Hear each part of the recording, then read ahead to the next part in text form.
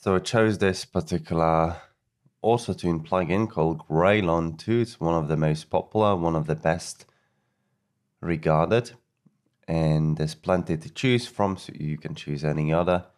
But I'll give the link in the description for this particular one. And I'm using Windows. I'll download for Windows. And I'll download it into my downloads folder. And you're gonna have to cut the file that you've downloaded.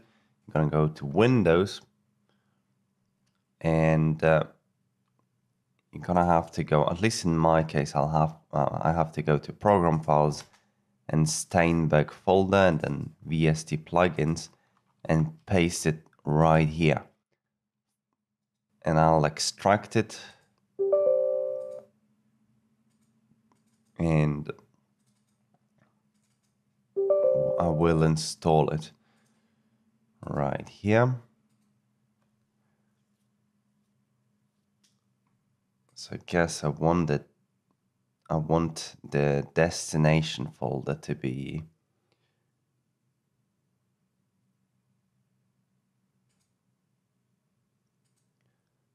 I'll change the destination folder right here to Windows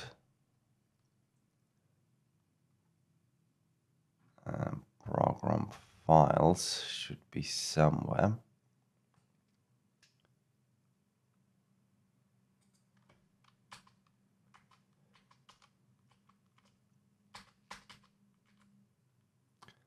Right, and then uh, Steinberg.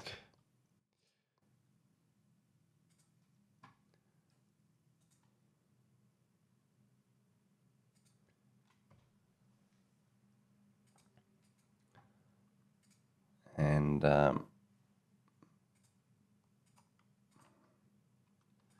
actually I will copy this file or rather cut it and paste it to the VST plugins folder.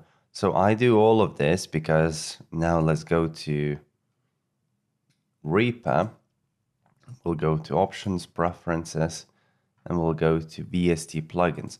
So essentially you have to install your plugin into the folder that is uh, chosen right here, the VST plugin path. So for me, my path is Steinberg VST plugins. That's why I chose to um, install it right here in this folder. For you, it might be a different folder, but uh, you're gonna click rescan then and you're going to choose the first option and you can click OK. Now we can either go to new and you should find this particular VST plugin right here, Graillon 2 because it's a new plugin or you can just type in Grail or something like that and you will find a plugin. Now I'm not gonna sing for you as I'm not much of a singer, but let's let's create this just sample audio about nothing and I'll be able to apply it onto this sample track. So let's go. Let's go to plugins. Let's drag it onto my track.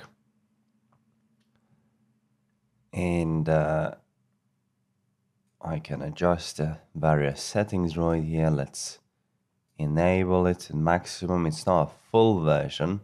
You have to pay for the full version, but you still have lots of functions right here.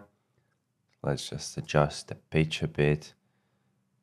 I guess do something here, whatever, and uh, we can see how it works. Not much of a singer, but let's let's create this just sample audio about nothing, and I'll be able to apply it onto this sample track. Not much of a singer, but let's let's create this just sample. sample audio about nothing and I'll be able to apply it. And that's it. That's how you get a free autotune installed in Reaper.